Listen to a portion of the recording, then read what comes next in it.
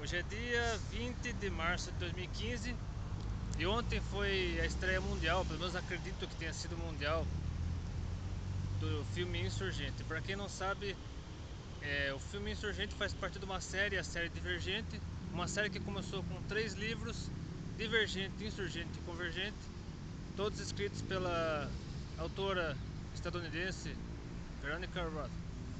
E quem acompanhou meus vídeos anteriores descobriu se não sabia ainda, que Veronica Roth é uma autora cristã, uma autora evangélica e pelo menos pelo primeiro livro eu percebi que ela pretendia com essa série pregar a palavra de Deus, divulgar o evangelho por meio de uma história fictícia.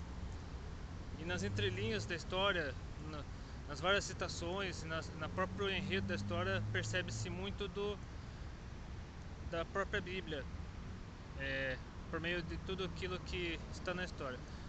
O primeiro filme, é, eu não falaria sobre o primeiro filme porque aí eu deixaria aqui na descrição os dois primeiros vídeos que eu gravei sobre o Divergente. Agora, falando sobre o Insurgente, primeiro eu quero falar sobre o filme. Eu, assist, eu e minha esposa assistimos o filme ontem, dia 19 de março, e aí foi o filme Insurgente é muito assim, em matéria de efeitos especiais, é muito, está a anos luz, está, é muito superior ao Divergente.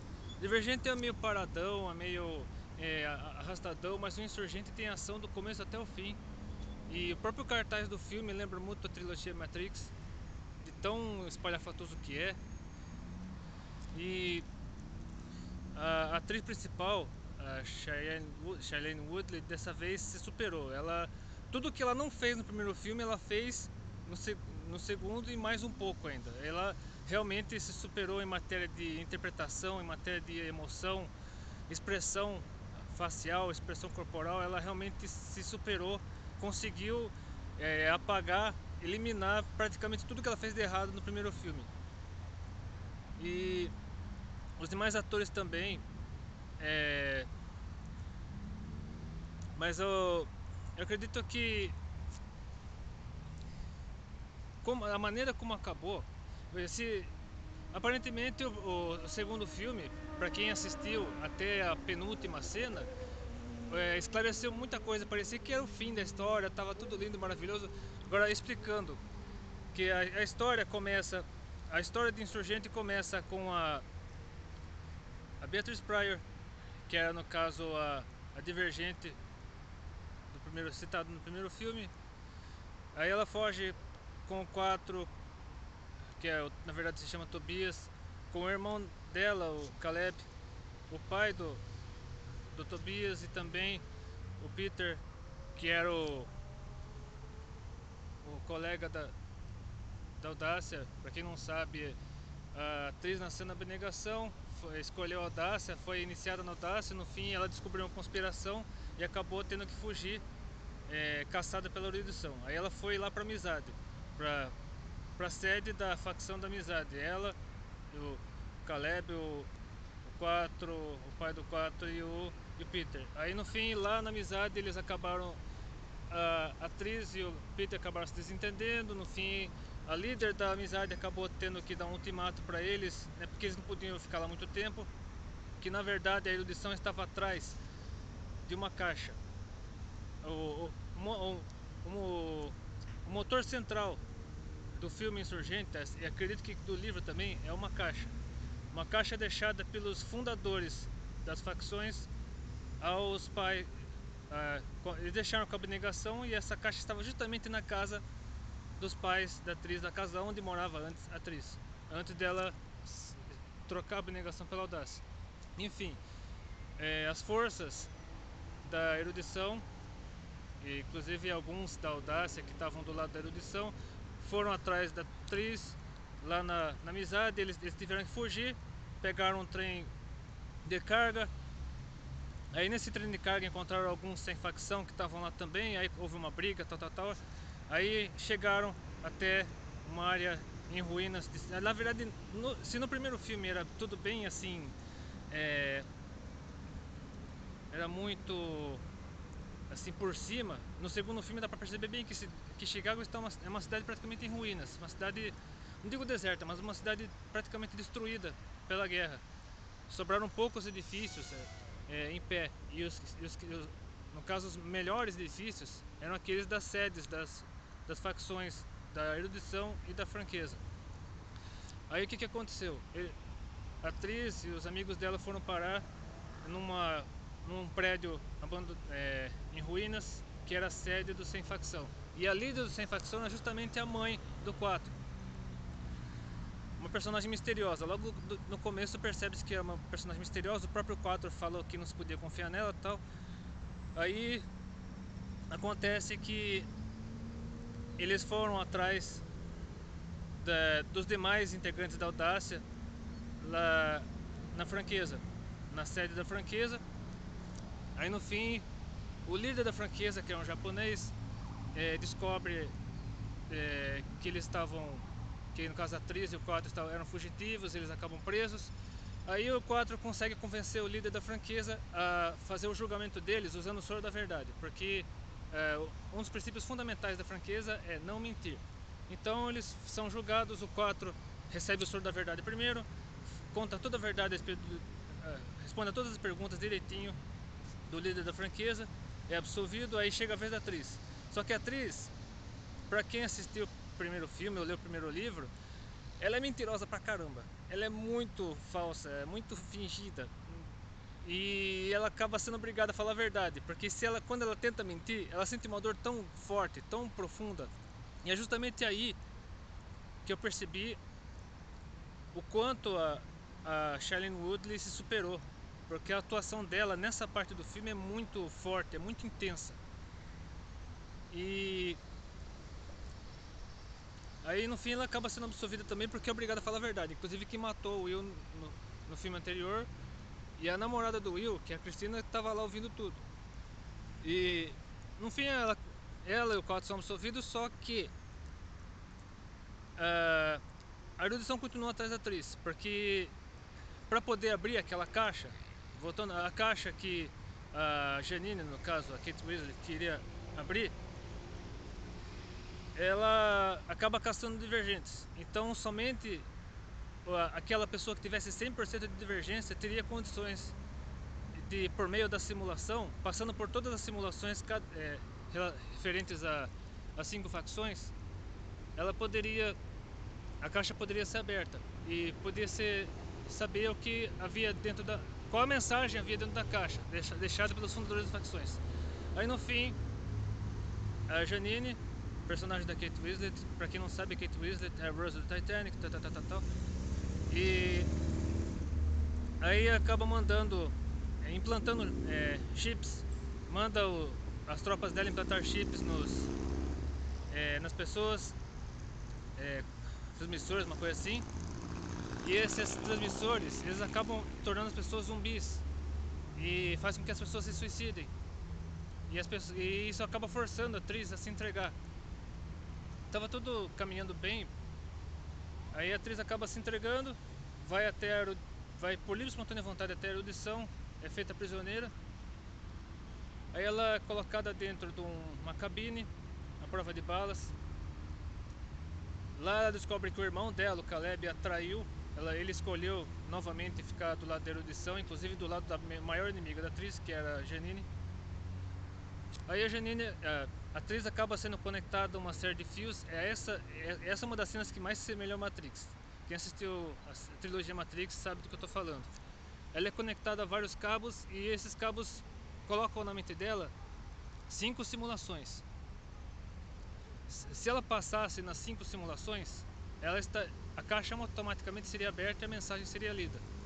Ela passa, ela é aprovada na simulação da audácia, é aprovada na simulação da é, depois da, da, franqueza, da abnegação e da, da erudição.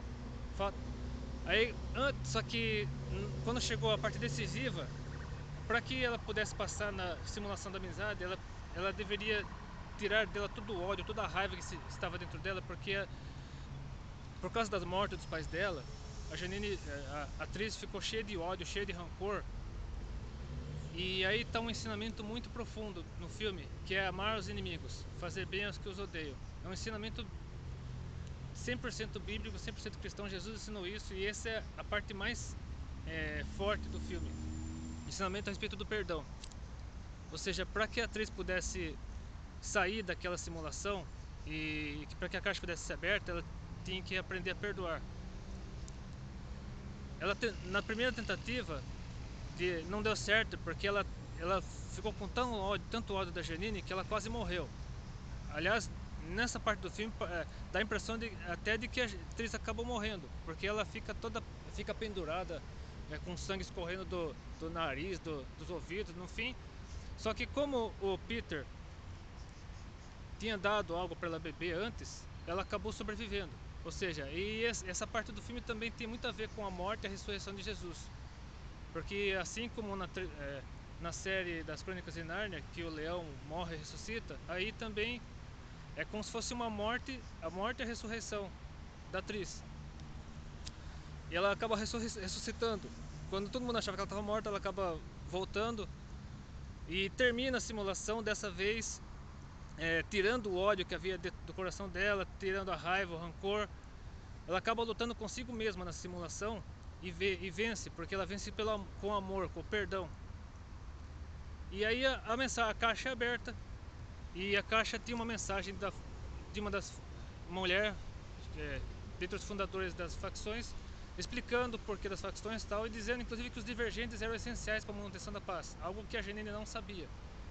Que para quem achava que a Janine era uma pessoa má no primeiro filme, realmente era uma pessoa má. E no segundo filme ela usa métodos é, cruéis para obter aquilo que ela quer. Só que ela simplesmente tinha uma ideologia, estava confiava nessa ideologia e acabou caindo no cavalo, porque ela percebeu que aquilo que ela achava que era verdade não era. Que na verdade os divergentes, no caso a atriz seria a principal deles, porque tinha 100% de divergência, era a principal, seria a líder dos divergentes. E a mensagem deixada pelos fundadores das facções dá a entender de que os divergentes promoveriam a paz e uniriam todas as facções numa só. Daí o nome do terceiro livro, do terceiro filme, Convergente. Só que aí o filme acaba de uma maneira surpreendente. A líder do Sem Facção, no caso a mãe do, do 4, na, quando está todo mundo indo para o portão, para sair do portão, para ir para fora da, de Chicago, da cidade de Chicago, é, para descobrir o que há lá fora, por, por trás da grade, todas as facções reunidas, é, pelo menos o que sobrou delas, saindo é, da cidade e no prédio, sede da, da erudição, está lá a Janine olhando pela janela, achando, imaginando o que poderia acontecer lá fora, até que aparece a mãe do 4, líder do Sem Facção, e dá um tiro na cabeça da Janine. O filme acaba justamente aí. E aí fica a pergunta. Acontece uma guerra no terceiro livro, ou no terceiro filme. Na verdade são dois filmes no final. Convergente Parte 1, que se estreará em março do ano que vem, e Convergente Parte 2, que estreará em março de 2017. Eu ainda não li o livro Insurgente, por isso que eu quis assistir o filme primeiro, para depois ler o livro, mas o, li, o filme esclarece muito a respeito de como será o final dessa história. E, e, e somente no final do filme eu saberei realmente se a atriz morre. Sim, alguém me falou que no final de Convergente a atriz morre. Aí eu fico perguntando, o único livro que eu conheço em que o personagem principal narra a própria morte é Memórias Póstumas de Brás Cubas, de Machado de Assis. Agora, como é que pode a atriz narrar a própria morte? É, descrever a própria morte? Isso que eu preciso saber. Porque assim que eu terminar de ler Insurgente, eu quero comprar o Convergente e ler o Convergente. Porque se tiver que esperar até o ano que vem, eu não conseguiria aguentar. Então, se você souber algo algum spoiler sobre Convergente e quiser publicar aqui embaixo nos comentários, fique à vontade. Inclusive esse vídeo, quase boa parte desse vídeo é cheio de spoilers. Então o próximo vídeo desta série será sobre o livro Insurgente, que eu pretendo comprar no final desse mês e ler. Não sei se conseguirei ler em oito dias, mas eu tentarei ler o mais rápido possível. Então, é, se você gostou desse vídeo, é, curta, compartilhe, inscreva-se no meu canal e adicione esse vídeo aos seus favoritos, caso tenha gostado muito dele. Então, o próximo vídeo desta série será sobre o livro Insurgente. Então, é, eu acredito que ele esclarecerá muitas coisas que ficaram subentendidas no filme e, e talvez por meio do filme eu consiga entender melhor o livro. Mas mesmo assim eu pretendo gravar um próximo vídeo falando sobre o livro. Então, espero que esse filme, esse, esse vídeo ajude você a entender melhor essa série literária e também a série cinematográfica e que a mensagem central é, do filme de que não devemos fazer exceção de pessoas, não devemos ser rancorosos, devemos aprender a perdoar, devemos é,